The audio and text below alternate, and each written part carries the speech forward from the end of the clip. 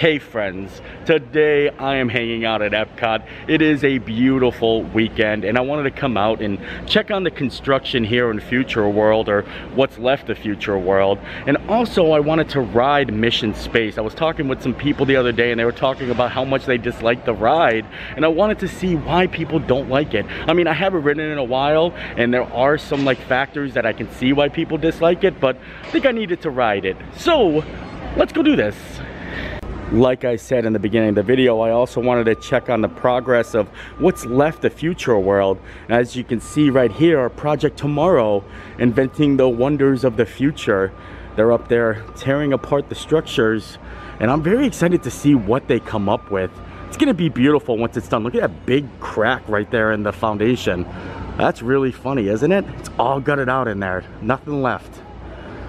Another thing that I'm not used to seeing is the gigantic canopies that used to be right there. Like, ah, it's just so strange to me sometimes not seeing that stuff. I do have to say, out of all the attractions that are coming to Walt Disney World, I am most excited for the Guardians ride. Only because it's something we've never seen before. I mean, Tron is great, but it's already existing in Shanghai. And the same thing with uh, Ratatouille. So this is gonna be a brand new ride concept. And that's why I'm excited for it. Hopefully for the 50th, just saying. As you walk around, you can hear all the construction noise. Oh, it just stopped as I said that. It was like, beep. Oh, now I hear a saw though. Beep. Beep. And then test track goes on, it goes whoosh. So it's like, man, I feel like it's definitely coming along pretty quick. I mean, the building's been sitting there for, I think, a good year and a half.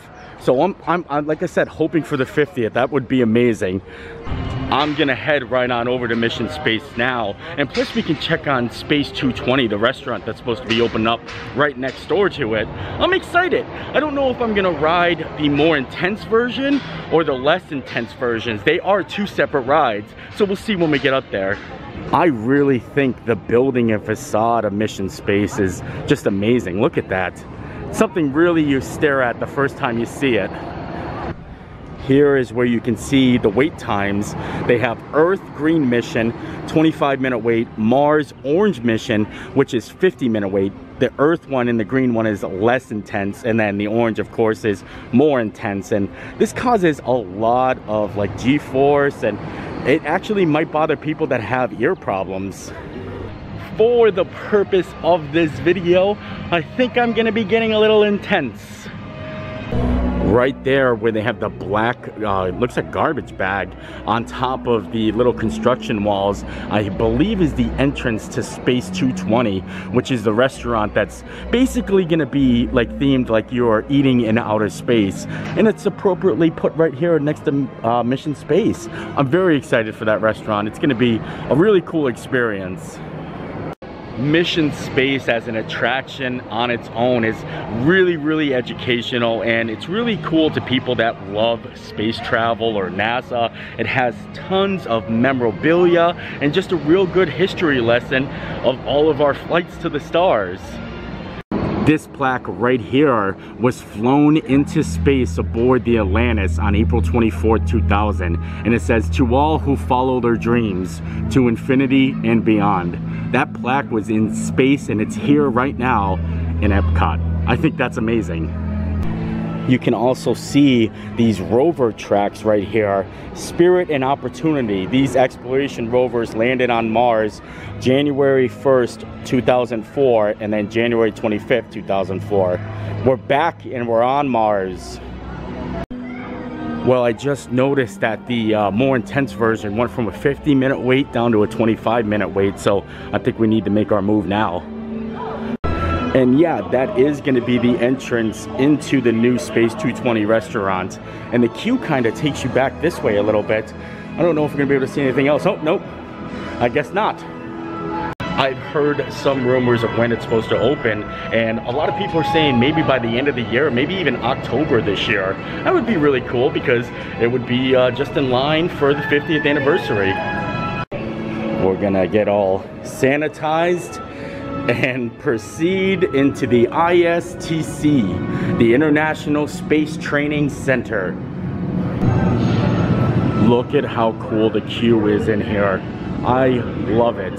And if you are a big fan of you know, retro Epcot and you like Horizons, you can see right in the center of that wheel there, they have the Horizons logo. Isn't that nifty? When you get up to this point, it actually starts talking about all of the space flights throughout time and, and it even makes uh, some brave predictions at the very end. As you can see, we got the first man in space in 1961, and then it continues on going through and through. There's John Glenn, and then at the very end, when we get up here, I'll show you, they got some really cool things. The first Dalmatian in space happened in 2030. See him right there? And then of course in 2035, Deep Space Mission Flight First X2. Maybe in nine years, that's gonna be me and Gracie going to space. How cool would that be? As you can see, astronaut flight training isn't like anything you've ever experienced before. It is intense. And if you would like to opt out, just ask any member of the ISTC crew for directions. You may I was also curious on how you socially distance on this ride because it's very compact and uh, there's just no social distancing because you get your own like pod. So each party gets its own pod and there's four spots in there. So maybe by myself, I'm gonna have to pull the weight of all the other job positions. You know, there's like pilot, navigator, engineer, and uh, flight attendant. If you are prone to motion sickness or made uncomfortable by enclosed dark spaces, simulators, or spinning, you may exit the flight training area now. Ask a uniformed crew member for directions to the Green Team Less Intense Training Area. They definitely give you a lot of warnings, I have to say. Begin boarding now. Whoop. This is what the inside of the cabins look like. This is why some people might not like it. It's a little bit, it's a little tight. So I think we're gonna sit in this uh, second seat. You have to climb in here. Yep, right about here. Sounds good? Another funny thing, they actually have sick bags in here, kind of like you would have on an airplane flights. During the Look at right here. How crazy is that? pilot, the X2 is Oh, it's closing in on me. If needed, floating flight flags Wow. located on the instrument panel. That happened very quick. Just a reminder, This is what it's like. Like you're really uh if you're claustrophobic, you're not gonna like this ride. Look at. These are the little joysticks too. The MR24, and then we have to hit all the buttons. Bing boom bing boom bing. Oh boy, I think it's about time we're lifting off. Oh, oh boy. Uh-oh. oh, the screen isn't the best either, but I love it. I'm gonna give you a look, hold on.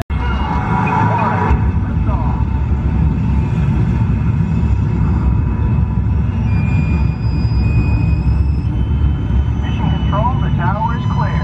They're all yours. Mission control, Uh, you are go. can't lift my arms up. computer override initiated. Zero G. Ooh, there we go. Zero G. Earth orbit. Velocity 15,000. 16,000. You should have visual of the space station now, and you are on course for your slingshot around the moon. Something to dream about on the Our spaceship Earth. Engineer, activate hypersleep. Now. Hypersleep. Computer override. Hypersleep. Let's go, team. We've got a problem. Beginning evasive maneuvers. Evasive maneuvers! Right!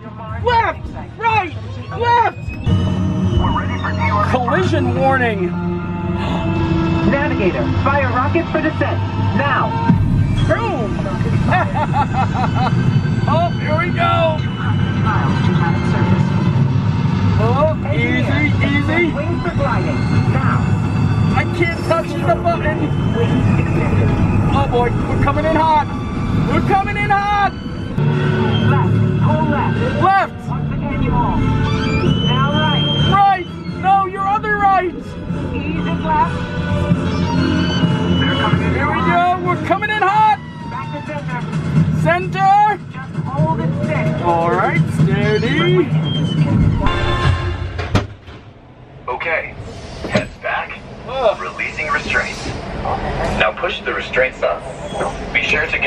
Belongings I'm bald. follow the arrows out.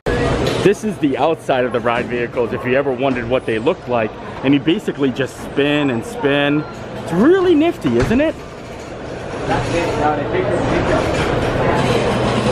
I can see why people don't like that ride. I mean, it, the intense version is intense, yes, but even if you didn't do the intense version, if you're claustrophobic, if you're afraid of darker rides, if you don't like 3D simulators, there's a lot of issues happening on the ride, but overall, it is such a cool experience.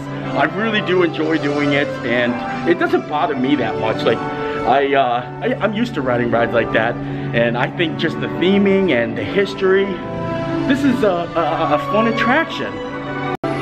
The music when you're walking out though really, really is awesome. It makes me feel like I'm in Epcot.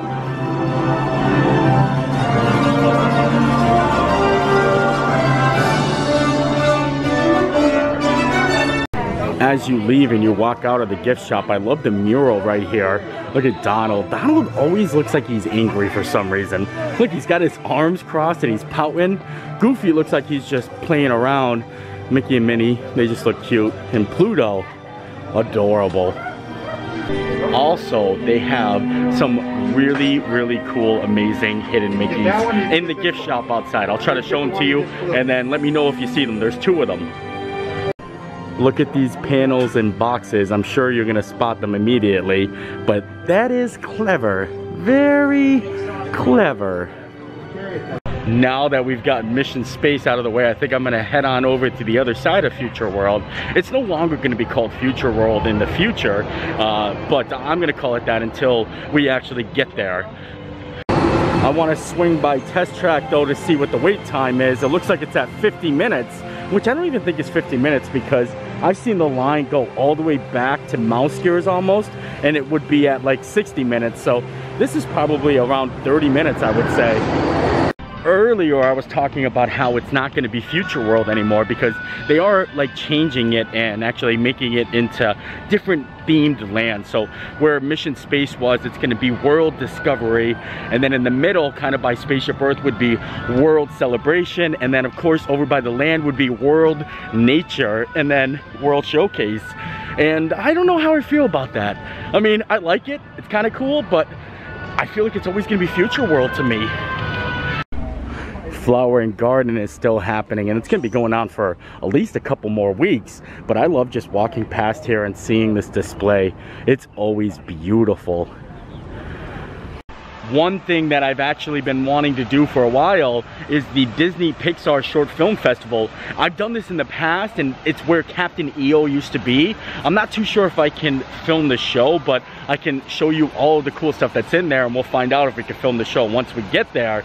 But there is a cool vantage point from this area where you can actually see some of the cool stuff that's over on the other side of the walls of Future World. Right here it is. You can see they're showing Get a Horse, Piper, and Feast. I feel like they've been showing these for a while now, but I really do enjoy it. And I've actually watched other shows here. Like I've seen uh, uh, Luxo and I've seen The Lamp and even the Toy Tinkerer. I've seen them all here before. And right up here, as we're actually going up like a hill, we can see a little bit more on the inside there. And that's what I wanted to show you.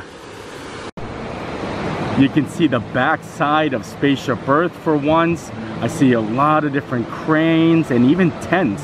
I'm excited for this all to get finished and just being able to see a fully complete Epcot. I feel so blessed that I've been able to be here for a lot of the last days of Epcot stuff. So I was here for the last day of Illuminations. I was here for the uh, last day of Club Cool. Like I was in there the last day before they closed it down. And I just feel blessed that I live here and I'm so close that I can enjoy these classics one last time like I did. And uh, I'm gonna continue doing that because I don't know, for some reason it, it, it makes me feel good. Like, you know what I mean? It makes me feel like I'm at like a historical thing that's happening, even if it's just a, a, a location that gives away free soda. To me, I thought that was a big deal. now I think it's time we're gonna head on in and it looks like the wait time is only seven minutes And it's funny because inside here is where Mickey Mouse had his last meet and greet spot. The day before the parks closed down last year, I came here and I actually had a photo with Mickey right here and uh, there was nobody in here. I remember standing here and just talking to Mickey for 20 minutes without a single guest coming in and saying hi or getting a photo with him. Such a cool experience that was and you could see Mickey throughout the years on the walls as we get closer to the theater itself. I love this carpet though we grabbed our 3D glasses and they actually have them in bundles of two so it's easy to grab. And now we have to find a uh, blue circle and stand and wait for the show to start. Oh there it is. I was calling him the toy tinkerer. I probably sounded so stupid but yeah that's what I was talking about. I've seen that here. I also saw for the birds in here as well. Oh going into the theater now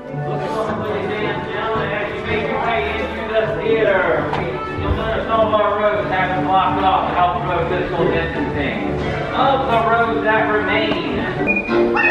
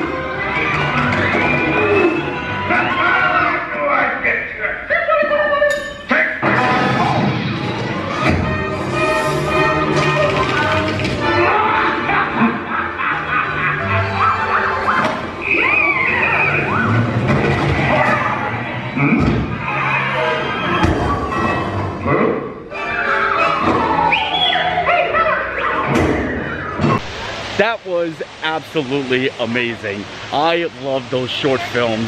And like the, the first one that came out, I filmed that one. That one was with Mickey Mouse and it was really cool to see all the different like animation, 3D and going from black and white to color. But Feast literally made me tear up.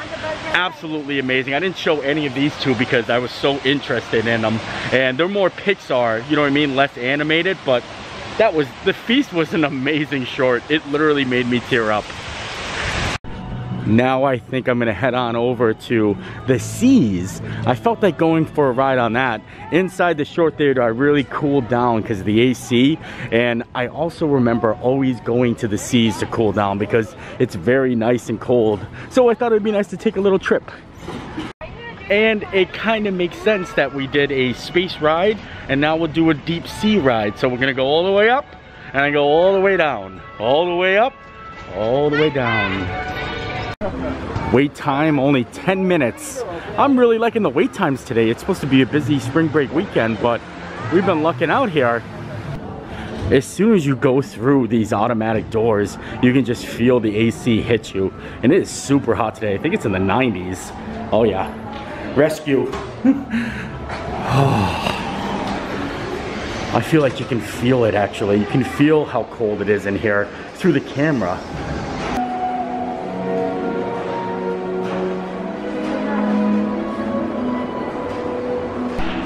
Also, you know what else I think is kind of funny? Earlier we were at Space Base and now we're heading into Sea Base.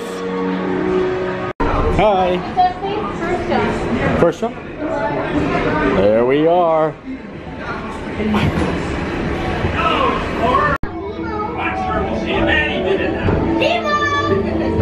Oh, science is great, there's so much to know. Why the more explorers, it's time to go. Nemo's swimming out the sea! Oh, don't worry, just keep your eyes open for him along the way.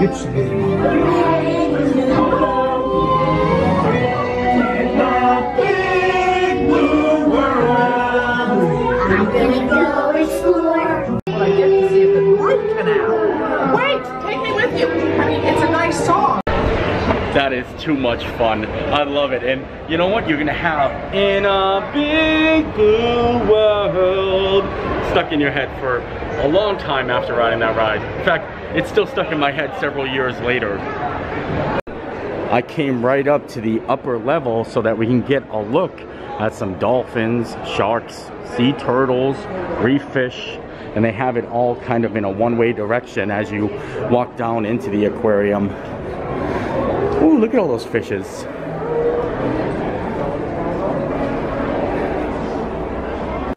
Oh, I see a hammerhead right there. Do you see that? I wonder if we're gonna be able to get a closer look as he gets over here. It's down at the bottom there. Ah, there's that hammerhead shark. And look, that's the ride right there. You got a hammerhead shark swimming right by you.